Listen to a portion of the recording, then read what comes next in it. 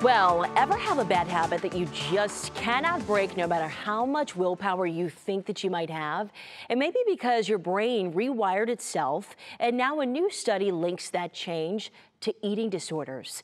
Senior health correspondent Monica Robins explains to us. Now, Monica, we can all relate to this one. Tell us more. Yeah, you know, when you keep doing the same thing repeatedly because somewhere in your brain you think there's going to be some type of reward over time, scientists say it actually changes how your brain is wired to work.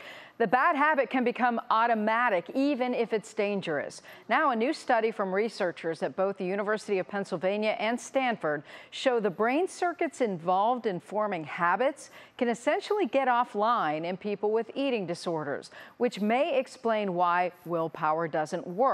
Researchers looked at evidence linking habitual behaviors to mental health, such as substance abuse and addiction, but found it may also be linked to eating disorders the emphasis that there's actually something going on differently in the brains of individuals with eating disorders than it, there is with in, within individuals that don't have eating disorders. It isn't just a choice.